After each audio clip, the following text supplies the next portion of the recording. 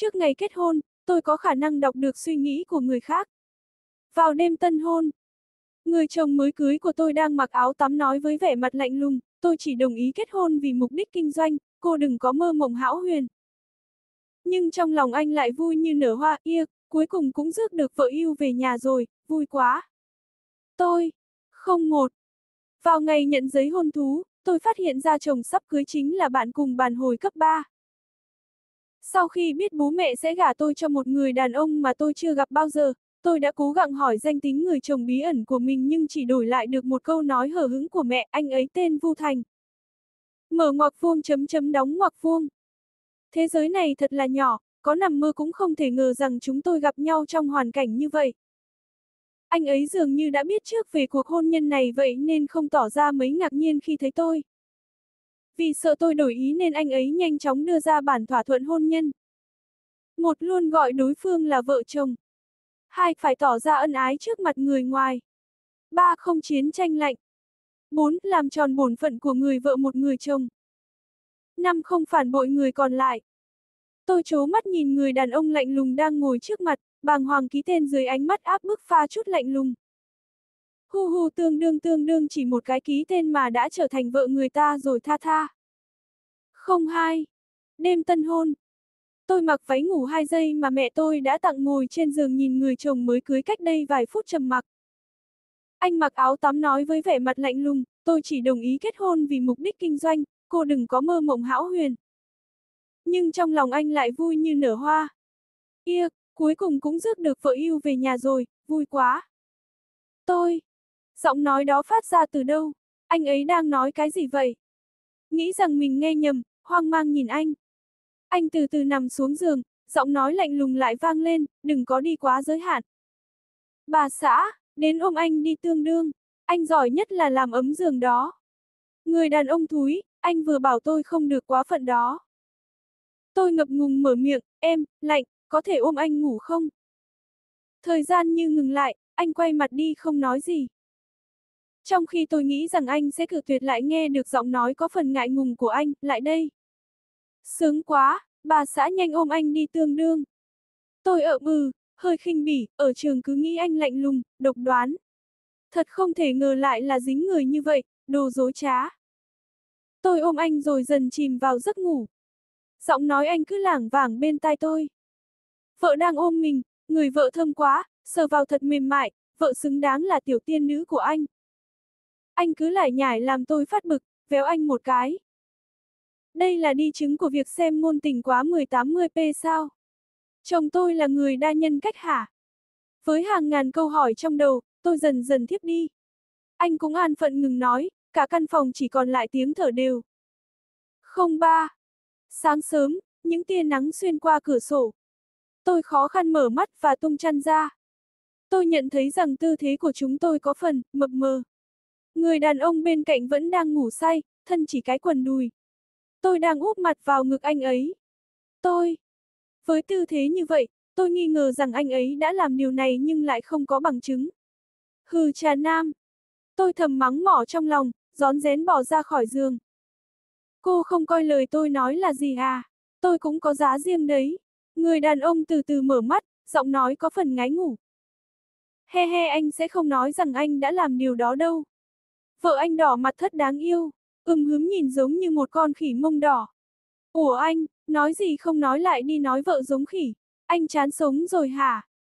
Tôi tức đến nỗi hai tay run run, mặt đỏ bừng, đang cố gắng kiềm chế không chạy đến tát mấy phát cho bõ nặng nề đập vào ngực anh mấy phát. Hừ người đàn ông chết tiệt, sau này tới công chuyện với tôi, ngủ sẽ báo thù Nupakachi y. Hi hi, vợ xấu hổ đến nỗi muốn đánh người rồi. Đàn ông là một loại động vật khó hiểu, nhất là đàn ông có gia đình.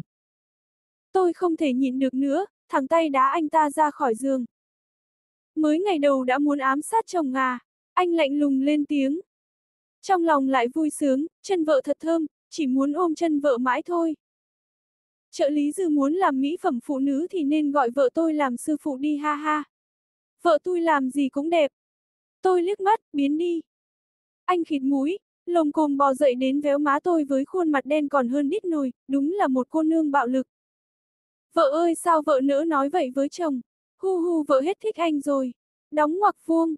Mặt vợ thật mềm, tóc vợ mượt quá à. Sinh gái vậy mà phú với chồng quá. Vì vợ đẹp nên anh bỏ qua ó. Tôi nhìn chằm chằm anh không nói lời nào, có vẻ nhận ra trong ánh mắt tôi có sát khí nên ảnh dùng mình một cái. Hu hu sao vợ lại nhìn anh như thế? Chẳng lẽ nãy mình nói nặng lời nên làm vợ buồn? Có nên xin lỗi không nhỉ? À vợ ghét mình rồi sao? Trò hề kết thúc khi tôi bất lực bỏ đi ra ngoài. Không bốn. Bữa sáng được kết thúc một cách vội vã trong không khí khá gượng gạo, không ai nói lời nào. Trước đó mẹ tôi cất công gọi điện đến để nhắc nhở về, nghĩa vụ của một người vợ, cho tôi, hãy trở thành một người vợ tốt, chu đáo. Con đừng quên những gì đã học tại trung tâm, còn phải, ngoặc kép. Tôi nghe mà choáng váng cái đầu, trả lời ậm ừ cho qua chuyện. Mắt liếc nhìn, chồng, đang cố tỏ ra lạnh lùng boy nhưng tại vẫn vểnh lên nghe lỏm. Tôi, anh đi làm diễn viên được rồi đó, diễn đạt hơn một số diễn viên ngoài kia luôn. Trong khóa học mà mẹ tôi đã đăng ký trước đó có đề cập rằng, trước khi chồng đi làm hãy tặng anh ấy một nụ hôn tạm biệt. Nhưng vì để trừng phạt anh vì khi nãy làm tôi xấu hổ nên tôi quyết định lờ đi. Khi tiến chồng ra cửa tôi cười ngọt ngào nói, chồng yêu. Tối anh nhớ về nhà sớm nhé, em sẽ đợi anh ở nhà. Chồng tôi mặt không cảm xúc nhắc nhở tôi, khóa học lần trước em đi chơi à. Này, anh biết mọi bài học mà em được dạy đấy. Phúc lợi của anh đâu tha tha, em còn thiếu ánh một nụ hôn buổi sáng đó. A à, a à, hôn anh đi. Không hôn anh dỗi em 10S đó. Hu hu hôn anh đi mờ. Nụ hôn buổi sáng. Tôi đảo mắt, không cam tâm nhướn chân lên hôn chụt vào khóe miệng anh. Anh trợn tròn mắt ngạc nhiên, a hát hát hát. Vợ hôn tôi, a vui quá, hu hu muốn hôn vợ quá đi. Nhưng mà không được, mình là tổng tài lạnh lùng, không thể để cho vợ phát hiện mình nói dối được. Đóng ngoặc vuông. A có nên nhắc cô ấy lau miệng không nhỉ? Liệu cô ấy có nghĩ mình lắm chuyện quá không nhỉ? Mình muốn lau cho cô ấy quá. Mấy tổng tài bá đạo cũng sẽ làm thế nhỉ he he. Anh trai này bị ngã đập đầu đến hỏng rồi à? Anh có thể bình thường tí không? Tôi lạnh lùng đuổi anh đi làm, lấy tay lau khóe miệng lẩm bẩm. Anh trai có trí tưởng tượng thật phong phú. Tôi nghĩ mình nên khuyên anh ấy đổi từ kinh doanh sang diễn viên kịch nói mất. Không năm. Sau khi nhìn chiếc xe đi xa dần, tôi lái chiếc Maserati ra ngoài ngay sau đó. Hôm nay tôi có hẹn đi mua sắm với mẹ chồng. Khi hai người phụ nữ đi mua sắm, họ có thể mua từ sáng đến tối. Và tất nhiên chúng tôi đã đi mua sắm cả buổi sáng. Bà ấy đã lấy một túi đồ từ người quản gia và đưa cho tôi. Tôi cứ ngỡ đó là bảo vật gia chuyện nên hào hứng mở túi ra, dù sao báu vật của nhà giàu cũng không đơn giản. Bà ấy đột nhiên nói, hân hân, đây là bữa trưa mẹ chuẩn bị cho con và A Thành. Con hãy đưa đến công ty rồi ăn cùng nó nhé. Mặc dù bên ngoài tôi nở nụ cười đồng ý nhưng trong lòng lại bất mãn, chẳng nhẽ không có người đàn ông đấy thì cơm ăn không ngon sao. Nghĩ thôi mà thấy con đường phía trước đầy trông gai hát. Tôi không cam tâm đến công ty nhà họ Vũ, nhưng lễ tân lại ngăn không cho tôi vào, họ nói rằng muốn gặp giám đốc cần đặt lịch hẹn trước. Mặc dù tôi đã nói hết lời nhưng họ vẫn từ chối. Đúng là một nhân viên tận tụy với công việc, nghĩ một lúc tôi quyết định gọi cho thư ký Dư. Vì để thể hiện mình là một người vợ hiền tôi nhẹ giọng nói, trợ lý Dư, giám đốc của các anh có ở đó không? Tôi muốn đưa đồ ăn trưa cho anh ấy. Trợ lý Dư hơi giật mình, hồi lâu mới đáp lại, giám đốc hiện tại đang họp, xin phu nhân đợi một lát. Để tôi xuống đón cô. Khoảng 10p sau trợ lý Dư hất hải chạy ra và dẫn tôi vào thang máy đi thẳng lên văn phòng giám đốc. Sau khi ngồi đợi ở văn phòng một lúc, giọng nói than thở của ai đó vàng lên sau lưng. Hu hu nhớ vợ quá, hóa ra lời lão phu nói trước kia đều là sự thật, một ngày không gặp nhau mà cứ ngỡ như ba thập kỷ vậy. À à vợ ơi anh nhớ em quá, muốn vợ ôm. Trong lòng tôi thầm nghĩ, bốn tiếng trước chúng ta vừa gặp nhau thôi đó cha nội. Cánh cửa phòng mở ra, chồng tôi vẫn mặt lạnh như hôm qua, sao em lại đến đây? Hôm qua cưới còn mệt thì nên ở nhà đừng chạy đi lung tung. Bên tai tôi ong ong, hôm qua mới kết hôn vợ anh nhất định sẽ rất mệt mỏi. Hu hu anh cảm động quá, vợ mệt mà vẫn đến mang đồ ăn cho anh, anh yêu em nhiều lắm ó. Anh nghĩ tôi thật sự muốn đến. Hát thôi bỏ đi, không nên nói lý lẽ với tên cuồng yêu đương. Tôi híp mắt cười ngọt ngào, nắm lấy tay anh làm nũng, lão công, em hôm nay đến để đưa cơm cho anh. Anh không thích em đến sao? Tôi dùng đôi mắt lòng lanh nhìn anh, anh ậm ừ vài tiếng rồi chuyển sự chú ý lên bàn tay tôi nói, sau này không cần mất công đưa đồ ăn đến đây nữa. Anh có thể tự ăn ở công ty. Trong lòng lại vui mừng hò reo như có vàng, hi hi tôi sẽ đăng khoảnh khắc này lên để diệt bọn cầu độc thân. Ông đây được vợ quan tâm. Tôi cười cười, hơi uốn người, không được, em là vợ phải có nghĩa vụ chăm sóc chồng mình chứ. Sau này ngày nào em cũng mang cơm cho anh nhé. Trợ lý dư ngoài cửa nhìn thấy một màn này không nói gì, tự giác đóng cửa lại. Tôi tàng hình. Sau bữa ăn tôi biết được từ một tin người bạn của chồng, anh ấy đã đăng bữa ăn hôm nay với caption không thể nào xến hơn, bữa trưa cùng vợ yêu. Tôi, anh đã thành công cho mọi người thấy anh là một sim chúa mặt cười. 06. Sau khi về nhà, tôi uể oải nằm lên giường và đánh một giấc ngon lành. Khi tôi thức dậy, mặt trời đã lặn quá nửa. Tôi duỗi người đầy mệt mỏi, dây vai của bộ đồ ngủ không cẩn thận bị tuột xuống. Cửa mở ra, giọng nói của người đàn ông đều đều, khuôn mặt xám kịt nhìn chẳng ưa nổi, dậy đi. Bữa tối đã sẵn sàng rồi. Nhưng trong lòng anh ta lại là một thái cực khác, hi hi, vợ yêu sao lại cầu thả như vậy chứ? Tôi bất mãn lườm anh ta, đồ đàn ông đều cáng, tôi rõ ràng là tiên nữ hạ phàm đó. Tôi không trả lời, anh ta lại bắt đầu ngó nghiêng. Tiếng bíp lại vang lên làm tôi đau đầu, vợ yêu vai trắng nõn nà như vậy, không cắn một miếng thật là thấy có lỗi quá đi. Tôi sắp xếp chân gối cẩn thận, và bước đến chỗ anh ta trong tích tắc, ngay lập tức đóng sầm cửa lại, nhốt anh ta ở ngoài. Ồn ào. Khi tôi đến phòng ăn, không gian trông vô cùng lãng mạn cùng với cả ánh nến. Tôi hỏi anh ấy, ai đã làm điều này? Hắn nhíu mày, đương nhiên là anh, không lẽ là em sao, đồ lười biếng. Kỳ thật lời nói và suy nghĩ đang vả nhau bông bốp, anh chỉ thích nữ nhân lười biếng thôi, phụ nữ không phải là để cưng chiều sao, không ai thèm ha ha ha ha ha. Tôi tuyệt đối cạn lời, anh ta không thể có món tráng miệng trong miệng sao. Tôi dùng dĩa để cắt miếng bít tết, sau khi ăn vài miếng đã không còn cảm thấy đói nữa, có lẽ do trưa nay ăn có hơi nhiều một chút.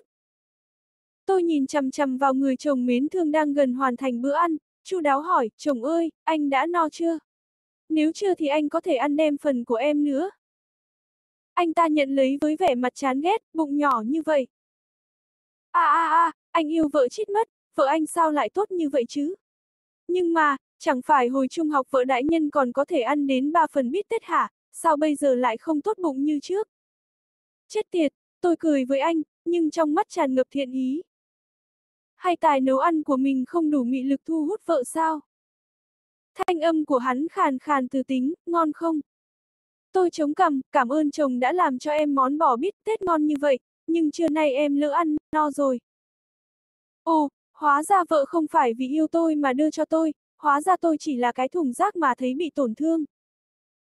Anh cúi đầu cắt miếng bít tết một cách mạnh mẽ với khuôn mặt ủ rũ. Trong lòng tôi lại vô cùng hả dạ, anh biết vậy là tốt. Không bảy.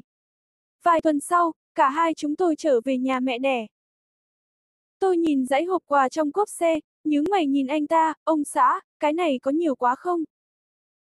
Anh ta lên tiếng mắng tôi, không nhiều đâu, nếu em không lấy, anh sẽ nói với mẹ anh rằng em không còn yêu bà ấy nữa. Chấm hỏi. Này, nhà vợ anh làm sao chỉ có thể nhận được từng này, anh vẫn cảm thấy quá là ít. Chúng tôi ngồi ở hàng sau, cách nhau một khoảng như nghiêu lang trước nữ. Anh ấy bất ngờ đưa điện thoại di động, ghi chú là WeChat của mẹ vợ. Là tin nhắn của mẹ tôi, Tiểu Thành, gần đây hân hân đối xử với con thế nào? Khóe miệng tôi giật giật, mẹ tôi lo lắng cho tôi sao? Trước mặt anh ấy, tôi gõ từng chữ trên màn hình, hân hân rất dịu dàng, đối xử với con cũng rất tốt. Xong công chuyện, tôi hài lòng đặt điện thoại vào tay anh. Anh ta giật lấy từ tay tôi còn khịt mũi nữa chứ. Tiếng lòng lại bắt đầu lèo nhèo, sao vợ không thưởng cho anh, vợ không biết là anh đang bực lắm à? Tôi phàn nàn, giữ thể diện đi trời. Muốn thưởng sao, được thôi. Tôi nhẹ nhàng lướt qua khóe môi anh rồi như tình cờ đặt lên đó một nụ hôn. Không ngờ người đàn ông trách tiệt này này lại là một con cẩu la liếm như vậy, anh ta chỉ nghiêng đầu, tôi đã tự nguyện cho anh ta một nụ hôn rồi. Ngoài ra còn có âm thanh khác vang lên, bùm. Người lái xe phía trước nâng vách ngăn lên, tôi lúc chỉ muốn tìm một cái lỗ chui xuống. Wow, vợ thật ngọt ngào, vợ tô son đỏ trông cũng đẹp chết đi được. Tôi cười lạnh, ném cho hắn cái nhìn lạnh nhạt, đồ chó, đồ đào hoa. Xe chạy rất nhanh, chẳng mấy chốc đã đến nhà tôi. Anh vừa bước vào cửa mang theo lỉnh kỉnh hộp to hộp nhỏ, vừa đi vừa liếc nhìn tôi, em không nhìn đường sao. Tôi giả vờ đá anh ta, ngay lúc đó mẹ lại đột ngột xuất hiện trước mặt. Này, sao lại hung dữ thế, mẹ đã dặn là phải hiền lành thục nữ vào rồi cơ mà. Mẹ vỗ vai tôi, tôi suýt xoa kêu đau. Mẹ lại giơ tay dọa tôi lần nữa. Anh quay lại và gọi một cách ngọt ngào, như thể mẹ tôi là mẹ ruột của anh vậy. Chưa gì đã muốn biến tôi trở thành con ghẻ rồi sao? 08. Ngồi trên sofa được một lúc thì mẹ gọi tôi vào bếp. Hân hân chắc chắn sẽ không nói xấu mình, mẹ vợ với mình là một phe cơ mà hi hi. Anh vòng tay qua eo tôi, hơi thở như lửa đốt phả vào bên tai, vợ, chúng ta cùng thỏa thuận đi. Eo của vợ mỏng quá, véo một cái không biết vợ có đá mình ra đường không nhỉ. Tôi. Sau bữa trưa, cả hai chúng tôi lên phòng nghỉ trưa. Anh cầm khung ảnh của tôi đặt trên bàn ngắm nghía làm như báo lắm. Bức ảnh trong khung là ảnh tốt nghiệp hồi trung học.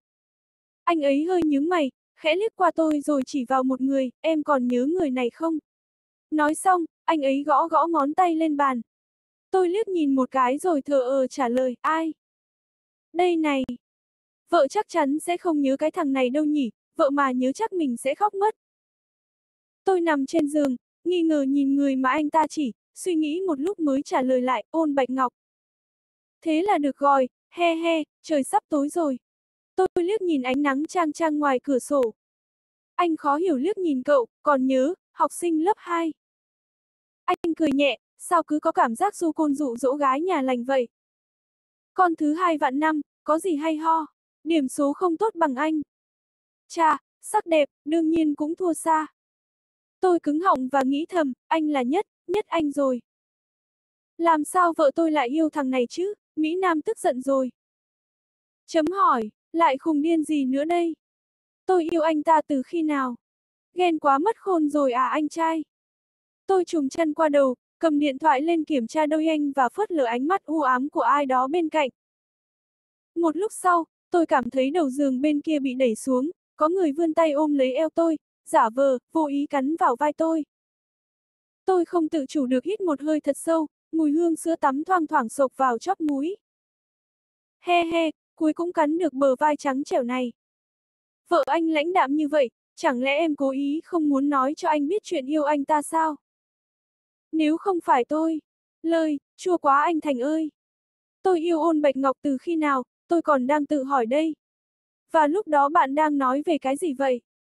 Tôi ôm anh ấy trong lòng và mỉm cười cố gắng gặng hỏi, chồng yêu, anh có muốn biết chuyện giữa em và ôn bạch ngọc không? Ánh mắt kia rõ ràng lóe lên tia sáng nhưng miệng lại không thành thật, để làm gì, anh không muốn nghe.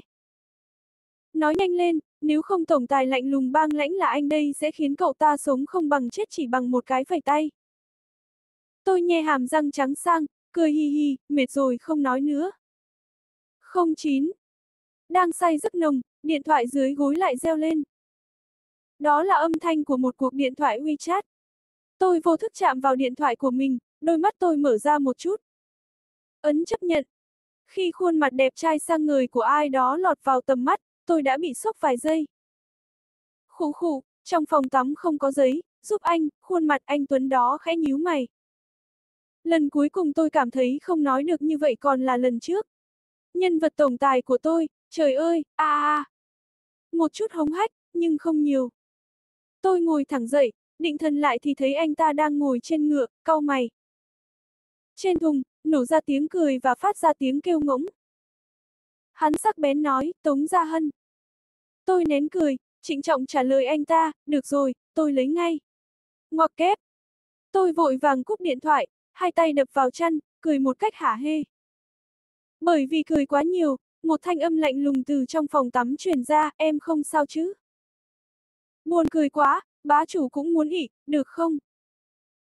Tôi lau giọt nước mắt cuối mi, ra khỏi giường, cầm một cuộn giấy trên tay, ba lần gõ cửa phòng tắm. Giọng anh nghèn nghẹn, như sắp khóc luôn rồi, cửa không khóa, ném vào đi. Hu hu xấu hổ quá đi mất, lần sau đến nhà vợ nhất định phải mang theo gói khan giấy. Không cần đâu anh dai à, lần này chỉ là một tai nạn thôi, ha ha ha ha ha ha. Tôi đẩy cửa, ném khăn giấy vào, bóng người trong toilet phụt qua. Tôi không kìm được, dựa vào cửa phòng tắm cười lớn. Chuyện này thì có gì đáng cười chứ, vợ à đừng cười nữa à. Đúng, tôi càng cười to hơn. 10. Trong phòng tắm không có giấy, để hắn cả đêm mặt đen như đít nồi.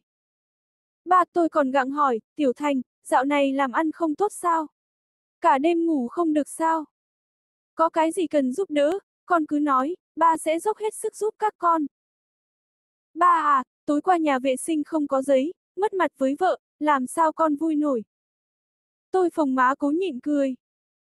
Anh cười cười tay lại nhéo nhéo phần da thịt mềm mại trên eo tôi, không sao đâu ba, là hân hân nói muốn học nấu ăn, con lo lắng cho cô ấy thôi. Ba cười, được rồi, về nhà con học là làm được. Hân hân có khi lại làm cho chúng ta được một bữa ngon. Mẹ tôi cũng cười, hình như trung tâm mẹ đăng ký cho con không vô ích, càng ngày càng ra dáng vợ hiền. Cũng có chút tự hào đó chứ. Tôi miễn cưỡng cười một tiếng, chân cố ý đẩy anh ấy ở dưới bàn. Chết tiệt, cái gì mà một người vợ tốt và một người mẹ tốt, tôi không hiểu và cũng không muốn hiểu. 11. Sau bữa tối, mẹ tôi yêu cầu tôi dẫn anh đi đêm, còn gọi với cái tên Mỹ miều là vun đắp tình cảm. Đi ngang qua phố ăn vặt trường gần cấp 3, ngửi thấy mùi thịt nướng thơm phức, tôi đem muốn nhỏ rãi, quay sang hỏi, muốn ăn đồ nướng không? Hắn có chút chán ghét liếc nhìn, quán ven đường không sạch sẽ. Trông không sạch sẽ, vợ yêu ăn vào sẽ tổn hại long thể. Đàn ông gì mà còn khó tính hơn đàn bà vậy cha nội. Vừa ngủ dậy thì thấy trên trán vợ có mụn nhưng nhan sắc thì đương nhiên vẫn là tiểu tiên nữ. Anh sẽ phải ngăn vợ tiếp xúc với những tác nhân hủy hoại nhan sắc của vợ yêu. Tôi cạn lời, cuối cùng cũng không mua nữa. Đúng vậy, bởi vì lời nói của hắn làm tôi hồi tâm chuyển ý rồi. Tôi quay lại mua trà sữa. Trên đường đi mua trà sữa, tôi thấy rất nhiều nam sinh cấp 3 đi cùng nhau cười nói vui vẻ. Như được hồi xuân, tôi vuốt tóc, nở nụ cười mà tôi cho là quyến rũ nhất và nhìn chằm chằm vào hàng nam sinh trung học đi ngang qua trước mặt. Vợ à, họ có đẹp được bằng anh không? Gu của vợ là mấy thằng này đó hả? Dịu dàng sao, anh khi bằng tuổi bọn nhóc kia còn dịu dàng gấp trăm lần đó. Tôi cố ý nháy mắt một cách thật duyên dáng. Mấy nam sinh đi ngang qua liếc nhìn tôi rồi vội cúi đầu cười cười. Tôi. Sự xuất hiện của tôi có ảnh hưởng đến diện mạo của thành phố không? Tôi ngẩng đầu lên thì ngay lập tức bắt gặp ánh mắt khó tả của người đàn ông hầm hầm bên cạnh. Mặc dù anh muốn ghen tị lắm, nhưng ha ha ha ha ha ha. Tôi nghiến răng hỏi, anh à, em không đẹp sao? Hắn do dự, đẹp, đúng là rất đẹp. Đúng đúng đúng vậy, trên răng cửa của em còn dính rau kìa cục cưng ơ y. May mắn nơi này không có người nào biết đến hai bọn mình, nếu không ngày mai hot search chắc chắn sẽ là, tổng tài cùng vợ đi mua sắm, nhưng vợ lại không cẩn thận dính rau nơi giang cửa. Tôi cười chít mấy ha ha ha ha ha. Tuy nhiên, vợ với hàm răng dính rau vẫn khá đẹp mà, đúng là tiểu tiên nữ của anh. Ai đó tìm cho tôi cái lỗ để chui xuống được không, xấu hổ quá đi mất. Tôi tức giận đến mức há miệng và cắn quả táo Adam của anh ấy. Cơ thể anh ấy còn hơi run lên. Lúc này cũng hả giận hơn chút rồi. ASSSSSS, tôi đã trực tiếp thăng cấp rồi. Vợ tôi vừa mới hôn tuy y. Không thể so sánh cậu với đàn ông được vì như thế là xúc phạm nhân cách đáng giá của cậu vàng. Tôi nghiến răng không nói nên lời. He he, vợ có răng khỉnh cũng xinh đấy. 12. Tôi chọn một quán trà sữa đơn giản mà tinh tế, có khá nhiều cặp đôi trẻ đang ngồi bên trong. Tôi nhéo cánh tay anh, chồng ơi, anh có muốn uống trà sữa không? Hắn lạnh lùng khoanh tay, không uống, chỉ khiến cơ thể bị suy nhược thôi. A hát hát hát, anh muốn uống, rất muốn uống nhưng anh lỡ để quên điện thoại ở nhà gọi, không thể phá hoại hình tượng vị CEO cao lãnh phải nhờ vợ trả tiền trà sữa được. Tôi. Sau khi gọi hai ly trà sữa, tôi nhìn vào chuyên mục tỏ tình, được dán trong cửa hàng. Đỗ thừa, lớp 1 lớp 3, mong cậu mãi mãi hạnh phúc, tôi thích cậu. Lâm Hy, cậu biết tình đầu là như thế nào không? Là khi gặp đối phương, trái tim không tự chủ mà sẽ đập liên hồi. Chấm. Tôi lẩm bẩm, lãng mạn quá. Người nào đó lại cười khẩy, trông có vẻ khinh thường, các người tiểu cô nương nếu còn trẻ con sẽ bị lừa. Chật chật, một đám tiểu tử, đây chả là cái thá gì, hồi trước mình còn có hẳn một quyển nhật ký dày cộp. Trong lòng tôi bỗng có cảm giác hơi nhói lên. Tòa tử hình. Vị tổng tài khùng điên này đã vô in lớp với ai chứ? Tôi đã nói rằng tôi yêu cô ấy sớm hơn, nhưng chắc chắn rằng, thật tốt khi nghe những gì một người đàn ông nói, không quá nghiêm túc. Anh lén liếc nhìn tôi một cách khó chịu. Khụ, anh lỡ mồm cái gì sao? Vợ yêu nhìn anh thế trông có niềm quá à, Mỹ Nam sợ hãi. Tôi giận dỗi cầm theo cốc trà sữa đứng dậy. Chưa kịp đi đã bị anh nắm tay giữ lại, em, giận sao? Tôi cố che giấu cảm xúc trả lời anh, ai bảo em giận chứ, em chỉ mệt thôi. Vợ nói dối tài quá, vợ ngủ cả ngày thì mệt thế nào được. Đóng ngoặc vuông. Tôi hất tay anh ra, nhanh chóng bước ra khỏi cửa hàng. Tống Giai Hân, mày có tư cách gì mà giận được chứ, rốt cục, cuộc hôn nhân này cũng chỉ vì công việc kinh doanh mà thôi. Phải tỉnh táo lên, không thể để bị cám dỗ. 13. Trên đường về, tôi vừa uống trà sữa vừa suy nghĩ trong đầu được biết bao kịch bản dreamer đẫm máu tích góp từ cả trăm bộ truyện ngôn tình, Bạch Nguyệt Quang trở về, khiến cô vợ mới cưới rời đi trong sự hổ thẹn, anh chồng vì muốn truy thê lại vợ mà muốn vứt bỏ Bạch Nguyệt Quang, không biết là nhân tính méo mó hay không. Bạch Nguyệt Quang trở lại với chiếc bụng bầu, cặp vợ chồng mới cưới bị buộc phải trở thành tình nhân. Cốt truyện chắc chắn đã đổ cả một xô máu cún. Và cuối cùng, người vợ mới cưới sẽ end game một cách đầy xót xa hu hu. Càng nghĩ càng tức giận, tôi đi vòng ra phía sau rồi nện lên vai chồng yêu mấy phát cho bõ tức. Anh ta khịt mũi, ánh mắt đầy vẻ lạnh lùng, Tống Gia Hân, em lại nổi điên sao? Cần giải đáp, vợ giận dỗi rồi, làm sao để dỗ đây? Mặc dù vợ tức giận nhưng cũng rất đáng yêu. Bạn không thể giải thích được. Tôi đã chọn bỏ qua câu hỏi ngớ ngẩn này. Trong lòng cứ cảm thấy khó chịu không thể phát tiết, tôi đưa cho anh ta ly trà sữa rồi nói, đưa tiền cho em đi. Anh ta tức giận đến mức cứ thế dùng một tay ôm lấy tôi, hung ác nói, coi như anh nợ em lần này đi. Tôi chẳng kịp phản ứng, hét lên một tiếng theo phản xạ. Chết rồi, quần chúng ăn dưa nhìn thấy cảnh này thì túm lại vào xì xào bàn tán. Người qua đường số một tinh tinh nhai, soái ca có thể một tay nhấc bổng vợ mình lên. Người qua đường số 2 ping bắc bộ, oa, nữ sinh thật là vui vẻ, trở về để bạn trai luyện tập đi. Người qua đường số N hỏa nhãn, bạn trai nhà người ta thì soái ca mạnh mẽ, bạn trai nhà mình cũng là một tay mà là. Người qua đường N cộng một hai mắt sáng người, chị đừng nóng giận, không đáng, chỉ hỏi lý lịch bạn trai của chị thế nào thôi. Người qua đường số N hỏa nhãn, đừng nói nữa, ta yêu thích nấu ăn chơi đùa, thậm chí còn chưa vượt qua tầng thứ hai. Người qua đường N cộng một thấp giọng lẩm bẩm, kỳ thật cấp 2 tương đối khó. Nam nhân bên cạnh ngay lập tức bị thương đến mức bật khóc nhưng rất tiếc, chẳng có giọt nước mắt nào rơi nổi. Tôi xấu hổ đến mức chỉ biết vùi đầu vào vai anh ấy. 14. Mẹ tôi đứng ở cửa nhà đón chúng tôi, thỉnh thoảng lại cười cười nhìn hai chúng tôi. Tôi đập mạnh vào lưng anh, ra hiệu cho anh ta thả tôi xuống. Anh ta còn cố ý giả ngu, ôm tôi lại càng chặt hơn, mẹ ngủ sớm đi, con và hân hân lên lầu trước. Mẫu hậu nở nụ cười tươi như chúng vé số độc đắc, trong đầu chắc chắn đang suy nghĩ cho tên cháu ngoại rồi. Tôi không thể chờ đợi để nói với mẹ yêu rằng, mẹ ơi, không thể nào đâu, trong lòng anh ấy còn có một bạch nguyệt quang sang chói đó. Anh đặt nhẹ tôi xuống giường, hai tay đặt nhẹ lên hông tôi, ánh mắt nhìn thật sâu, em sao vậy? Lòng dạ phụ nữ thật khó đoán, chẳng lẽ chỉ vì ta nói một câu mà lừa gạt mấy cô nương sao? Không đời nào. Tôi xoay người đẩy anh ra, không, em mệt. Mệt ở chỗ nào? Tôi cố gắng nói to hơn, cả người đều mệt. Ngày mai nên hỏi mẫu hậu xem nên dỗ hân hân thế nào đây hi. Tiểu tiên nữ tại sao lại nỡ giận anh chứ?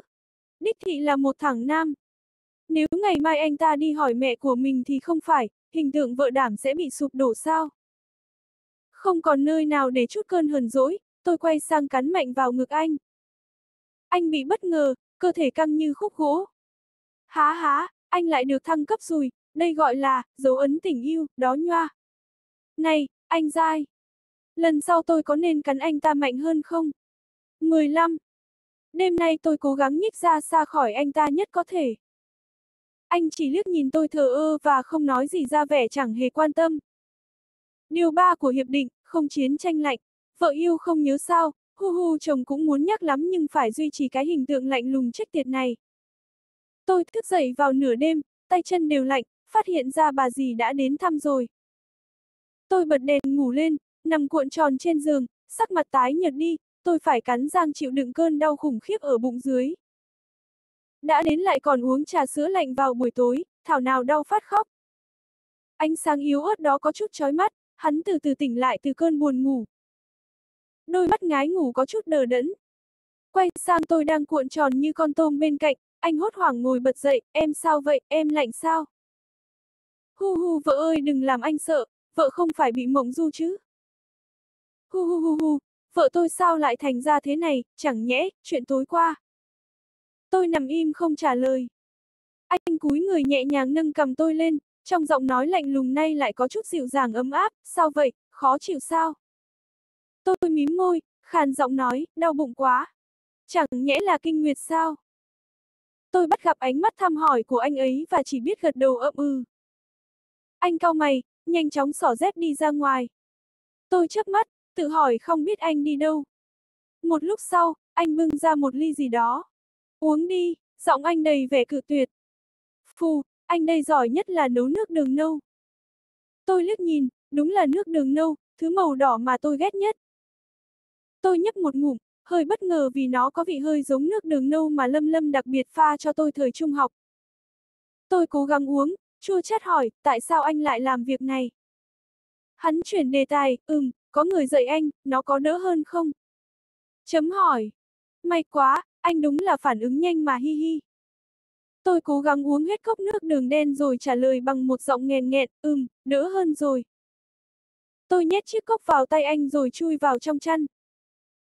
Trong đầu tôi lúc này đầy dấu hỏi chấm, chắc là không đâu, để mai dậy hỏi Lâm Lâm vậy. 16. Sáng hôm sau khi thức dậy, tôi đã quên mất luôn việc đi hỏi Lâm Lâm. Vì mẹ chồng đã gọi chúng tôi và nói rằng ông nội rất nhớ hai đứa, bảo hai đứa nhanh về nhà. Vu Thành phải tham gia một cuộc họp khẩn cấp nên chỉ có tôi về mà thôi. Mẹ chồng tôi chiều mến ôm lấy tôi, dịu dàng hỏi, hân hân, A Thành có chọc giận gì con không? Nếu nó dám làm gì thì cứ nói với mẹ nhé, mẹ sẽ giúp con dạy dỗ lại nó. Anh ấy cũng chưa chắc đã hỏi mẹ tôi câu này. Xấu hổ làm sao? Tôi liền nói thẳng, con có hơi mệt mẹ ạ. À. Hân hân, A Thành thằng bé nó như vậy, bề ngoài tỏ vẻ khó gần, không quan tâm vậy thôi chứ bên trong nó yếu đuối lắm. Nếu nó có làm gì sai ấy thì con cứ nói ra, tuy là hôn nhân thương mại nhưng nếu hai đứa trở nên thân thiết hơn thì sẽ tốt hơn rất nhiều mà, nhất định nó sẽ thay đổi thôi. Bà ấy đã nói với tôi đủ thứ về anh ấy. Tôi cũng chỉ miễn cưỡng cười tỏ vẻ đồng ý với bà, nhưng trong lòng lại đang cười nhạo chính mình muốn được gì từ một cuộc hôn nhân vì lợi ích chứ. Thấy tôi có vẻ vẫn bán tín bán nghi, bà ấy liền dẫn tôi đến trước một căn phòng. Là phòng ngủ cũ của Vu Thành. Mẹ chồng tôi chán nản thở dài, mẹ lo cho nó quá, mẹ là đang ngóng cháu lắm rồi đấy. Đây là phòng ngủ cũ của anh ấy trước khi cưới, tôi là người vợ biết phép tắc cũng chưa từng có ý định muốn vào căn phòng này. Mẹ chồng mở cửa đẩy tôi vào, ném cho tôi một gói giấy vệ sinh to tướng, điều cuối cùng tôi nhìn thấy mẹ chồng tôi đang nở nụ cười tươi như hoa. Chấm hỏi. Rốt cuộc đây là tình huống gì chứ? Nếu tôi đi vào trong thì có thể sẽ có em bé sao? Sau này khi biết được sự thật, tôi chỉ có thể yếu ớt nói, thật sự có thể, nhưng không phải bây giờ. 17. Đây là loại tình yêu đẹp đẽ gì vậy? Nếu đó không phải là tôi trong bức ảnh, tôi sẽ thực sự choáng váng đó.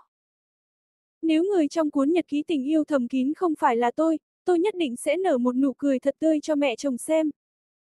Nếu những món quà bên cạnh tôi không viết tên tôi, tôi sẽ cười thành tiếng. Nhưng đối tượng là tôi, tôi phải làm sao đây? Tất nhiên đó là một lời rap thôi. Đùa chút thôi. Tôi ngã gục trên sàn, từng giọt nước mắt kéo nhau chảy xuống, tôi như phát điên lên, lúc cười lúc khóc. Những bức ảnh đó được chụp ở trường trung học, có lẽ đều bị anh chụp lén. Một số là tôi đang phồng mồm trợn má ra để ăn, bên này thì lén ăn vặt trong giờ học, bên kia thì là há miệng ra cười ha hả, một số lại là đang vò đầu bứt tóc suy nghĩ về đề toán. Ôi trời, từ chối nhận lại chính mình. Tóm lại, chỉ cần lấy bừa ra một cái cũng có thể khiến tôi bị bêu xấu mặt mũi. Thực sự cảm ơn anh nhiều lắm, chồng yêu mến à. Bức ảnh đẹp duy nhất là bức ảnh của tôi và anh ấy. Tất nhiên, tiền đề đẹp trai là dựa vào lịch sử đen tối của tôi trước đó. Nói không ngoa, bức ảnh này trông anh ấy rất đẹp, với đôi lông mày sắc nét, đôi mắt sáng như chứa hàng ngàn vì sao và khuôn mặt điển trai đến phát ghét, đối lập hoàn toàn với vẻ mặt vô cảm của tôi ở bên cạnh. Thực sự là do góc chụp có vấn đề hay anh ấy không biết chụp ảnh vậy? Tại sao lại không căn góc cho tôi y? Nhật ký thầm kín được để trong một chiếc hộp gỗ. Tôi nhớ lại, đó hình như là quyển sổ hồi năm nhất trung học. Nó là món quà tôi tặng sinh nhật cho anh ấy. Anh ấy rất giỏi trong khoản này. Trang bìa được viết ngay ngắn, gửi bạn cùng bàn của tôi, Tống Gia Hân. Tôi lật qua vài trang để xem. U ám. Khó chịu quá, thích bạn cùng bàn thì phải làm sao đây? Nắng.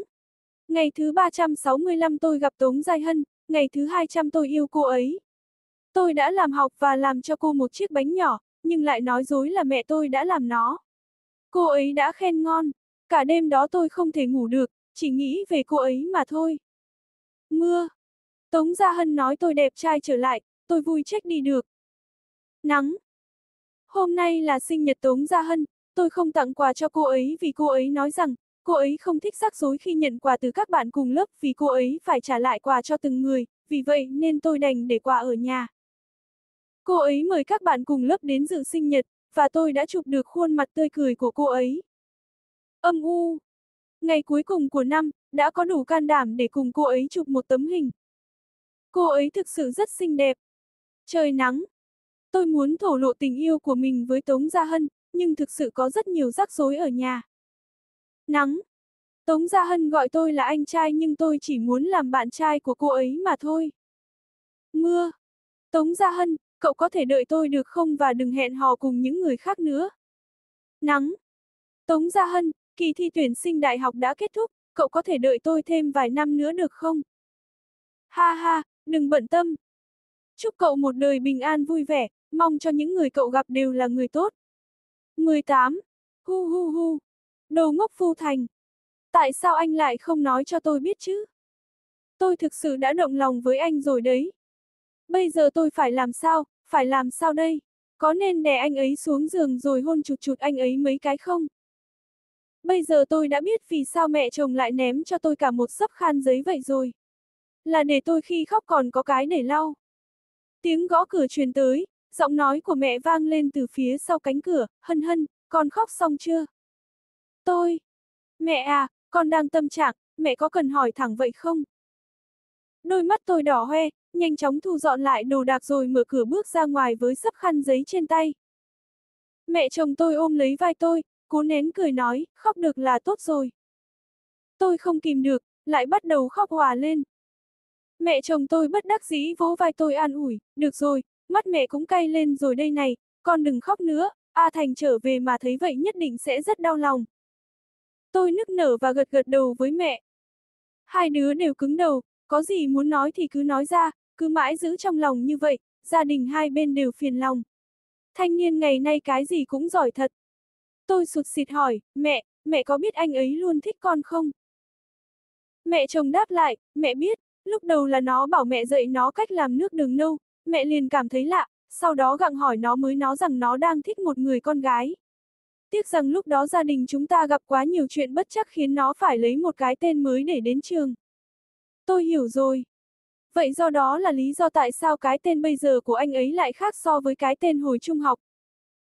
Chỉ sau khi A Thành cho mẹ xem ảnh của con, mẹ mới biết con chính là người con gái đó. Con dâu của mẹ, con thực sự rất xinh đẹp. Tôi trở lại phòng ngủ mới của mình, lấy điện thoại di động và gọi ngay cho cô bạn thân nhất. Tôi trịnh trọng thông báo, Lâm Lâm, tớ kết hôn rồi. Tiếng hét phát ra từ đầu dây bên kia như xuyên thủng qua tai tôi cái gì. Khi nào vậy, hân hân, cậu nói thật chứ? Tôi ấy náy trả lời lại, ừm, chuyện có hơi dài dòng một chút. Anh ấy là một CEO. Chúng tớ chỉ kết hôn bí mật và không tổ chức đám cưới. Nó chỉ giống như là một bữa cơm giữa hai gia đình vậy. Lâm Lâm có vẻ không hài lòng lắm, ôi, hân hân à, tớ sẽ tạm tha cho cậu vậy nhưng anh ấy là ai chứ? Mau nói cho tớ biết. Tôi cười, cậu còn nhớ tịch vũ, bạn hồi trung học của chúng ta không? Bạn cùng bàn của tôi. Lâm Lâm dừng lại, à, tớ nhớ, đừng nói là. Đúng, chồng tớ là cậu ấy. Dìa lý, tuyệt ca là vời ha ha ha ha, CP mà chị đây gõ đã thành sự thật rồi hé hé. Vậy là không cần ship cả cái cục dân chính đến nữa rồi khe khe. Tôi trầm ngâm suy nghĩ, thấp giọng định hỏi. Cô ấy như đọc được suy nghĩ của tôi, nhanh chóng kể hết sự việc, cậu ấy có tình cảm với cậu, còn chu đáo pha cả nước đường nâu cho cậu uống, nhưng vì sợ cậu không nhận nên mới nhờ tớ nói dối để đưa cho cậu đó. Tôi im lặng cúp máy, không kìm được lại khóc một lần nữa. Vu Thành, sao anh lại ngốc như vậy chứ? 19. Sau bữa tối, tôi mang theo một chai rượu vang đỏ trở về phòng. Ngồi trên giường vừa uống rượu vừa chờ đợi đồ đàn ông dối trá kia trở về. Cánh cửa vừa mở ra, tôi liền chạy đến, nắm lấy cổ áo anh, bằng một giọng ngà ngà say để tra hỏi, Vu Thành, có phải là anh thích em không? Mau nói sự thật cho em biết. Anh ấy dừng lại rồi nhìn tôi với vẻ mặt đầy phức tạp. Một lúc sau, vẻ mặt anh bình tĩnh lại, ánh mắt lướt nhẹ qua bàn, phát hiện ra chai rượu trên bàn. Sau đó anh bế tôi lên, nhíu mày trông vô cùng nghiêm khắc, em uống rượu sao? Trả lời câu hỏi của em, có phải không, tôi bạo dạn liếm vành tai anh, rồi tựa đầu vào trong lòng anh, gần đến mức tôi có thể nghe thấy cảm nhận được nhiệt độ thất thường lúc lên lúc xuống của anh ấy. Trong không gian tĩnh mĩnh như vậy, chẳng có âm thanh văng vẳng bên tai như hàng ngày mà chỉ còn lại tiếng nhịp đập nặng nề của ai đó. Tôi suy nghĩ, thuật đọc tâm chẳng nhẽ đã biến mất rồi sao? Chuyện gì đang xảy ra vậy? Đồ đàn ông đều cắm này, tại sao anh lại không nói thật cho em biết? A hát! Anh đặt tôi lên giường, hờ hững liếc nhìn vết ửng hồng trên mặt tôi, em say rồi. A hát hát hát sao tôi không nghe thấy gì cả, không phải là mất rồi chứ? Thuật đọc tâm lại mất đúng lúc quan trọng và hình như tôi say mất rồi. Tôi ngã xuống giường, nhìn thẳng vào anh ấy, em không say. Vu Thành, anh còn ngại ngùng gì nữa mà không chịu thừa nhận chứ? Phiền thật đấy. Nghĩ về điều này, nước mắt tôi lại không tự chủ mà lăn dài trên má. Cuối cùng bức tường thành trong lòng anh cũng bị phá vỡ, anh nhẹ nhàng nắm lấy bàn tay của tôi, những ngón tay đan chặt vào nhau. Bắt gặp ánh mắt đen láy của tôi, anh nở một nụ cười dịu dàng, giọng nói thủ thỉ với tôi, anh thích em, Tống Gia Hân, từ rất lâu rồi. Nhìn vào đôi mắt ấy là tràn ngập sự yêu thương, trái tim tôi bỗng dung cảm thấy lỡ nhịp. Tôi hít mắt lại, cố đè nén cảm xúc ở bên trong, nắm lấy cổ tay anh, vậy tại sao anh không nói cho em biết? Anh không trả lời tôi, mà dùng đầu ngón tay cọ cọ lên môi tôi, ủy khuất nói, Tống Gia Hân, em có thích anh không? Tôi bị ánh mắt của anh làm cho tê dại, chớp chớp đôi mắt to tròn, thổ lộ với anh ấy, Vu Thành, em thích anh, cũng đã thích anh từ hồi trung học rồi. Em nói gì cơ, anh bỗng trở nên nghiêm túc, hai tay ôm lấy mặt tôi, giọng điệu căng thẳng hiếm thấy. Tôi nắm lấy tay anh, cười tươi đến híp cả mắt, nhẹ giọng đáp, em nói, em thích anh. Anh khẽ cười, đôi mắt khẽ sáng lên. Môi anh nhẹ nhàng chạm vào môi tôi, ánh mắt anh đều là sự chân thành và nóng bỏng. Không có một dấu vết của sự phân tâm. Anh vùi mặt vào hõm cổ tôi hồi lâu, đột nhiên, một giọt nước mắt ấm nóng lặng lẽ trượt xuống cổ tôi. Tôi ôm lấy đầu anh, hôn nhẹ lên khóe mắt đỏ hoe của anh. Anh dùng cả hai tay, ôm chặt lấy tôi như sợ tôi sẽ biến mất. Tôi cười nhạo anh nhưng giọng nói đều là sự dịu dàng, sợ cái gì chứ? Chúng ta đều là vợ chồng mà. Anh ấy nuốt nước bọt, ngước lên nhìn tôi, không giống nhau, anh muốn cùng em bắt đầu từ yêu đến kết hôn rồi sinh con. Tôi khẽ cười, vậy chúng ta có thể ly hôn, sau đó bắt đầu hẹn hò, rồi mấy năm sau sẽ kết hôn. Trong giây lát, ánh mắt anh chuyển sang sự lạnh lùng thường ngày, anh siết chặt tay tôi và đè tôi xuống. Bốn mắt chạm nhau, chung quanh là màn đêm tĩnh lặng.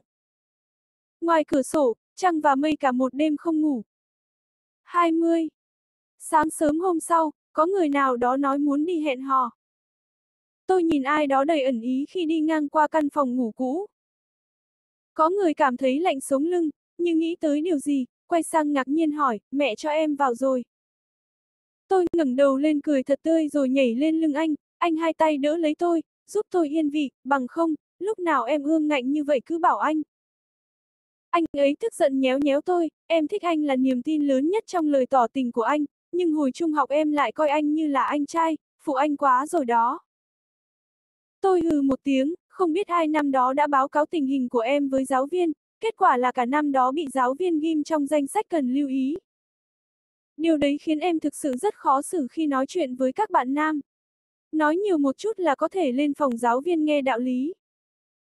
Dù sao thì em vẫn ổn, nhưng đời người ai lại ác thế chứ? Hắn, dù sao cũng không phải anh đâu. Hắn ấy náy ho khan hai tiếng, vô ý hỏi, ôn bạch ngọc thì sao? Tôi kỳ lạ nhìn chằm chằm vào gáy anh, dựa đầu lại gần cổ của anh hỏi, sao anh cứ hỏi về em và ôn bạch ngọc vậy? Tôi chợt nhớ, ác nhân đó cũng lan tin rằng em và ôn bạch ngọc đang yêu nhau. Ánh mắt anh khẽ lóe lên, anh đặt tôi ngồi xuống sofa, cố chấp nói, em có thể đi hỏi. Sau đó anh cẩn thận thay giày cho tôi. Tôi cúi đầu, dùng tay nhéo khuôn mặt vô cảm của anh, cười nói, em với anh ấy chưa từng yêu nhau, em chỉ yêu anh, một mình anh mà thôi. Anh ngước mắt lên, tôi bắt gặp được ánh mắt như sang như ánh sao của anh ấy, khóe miệng nở một nụ cười nhàn nhạt. Tôi vuốt mái tóc mượt mà của anh, ghé sát tai anh thì thầm, anh xem, định mệnh vẫn khiến chúng ta gặp nhau mà. Anh hơi sừng sốt, nghiêng đầu nhìn tôi, ánh mắt chúng tôi nhìn nhau, anh nở cười chiều mến, chúng ta gặp được nhau, đều là do anh sắp đặt. Anh nhếch môi, nở một nụ cười thoải mái, nếu ông trời không cho ta cơ hội, vậy thì ta sẽ tự mình tạo ra nó. Tôi cố gắng gặng hỏi, moi móc thông tin nhưng cuối cùng lại đành bất lực buông xuôi. 21. Địa điểm đầu tiên trong buổi hẹn hò, tất nhiên là dạp chiếu phim. Tôi chọn một bộ phim khá nổi tiếng, kể về mối tình thời sinh viên, nam nữ chính tái hợp vài năm sau khi tốt nghiệp đại học, nhưng nữ chính hiện tại là người đã có gia đình. Tôi xem mà nước mắt cứ rơi, thỉnh thoảng lại nức nở. Đèn quá tối, có người gục đầu dựa vào vai tôi, tôi nhìn không rõ vẻ mặt của anh ấy, còn tưởng rằng anh cảm thấy cốt truyện không có gì thú vị mà ngủ gục luôn trên vai tôi. Cuối phim, dì quét dọn bật đèn. Tôi nghiêng đầu nhìn anh, vô tình bắt gặp ánh mắt của cô gái cách anh một chiếc ghế trống, cô gái cũng đỏ hoe mắt rưng rưng, hiển nhiên là rất cảm động. Cô ấy dùng những ngón tay thon dài trắng nõn chỉ vào chồng tôi, tôi cụp mắt kéo bàn tay to lớn đang che mặt của anh ấy ra, mới phát hiện đôi mắt anh ấy cũng đỏ hoe với vài giọt nước mắt động lại.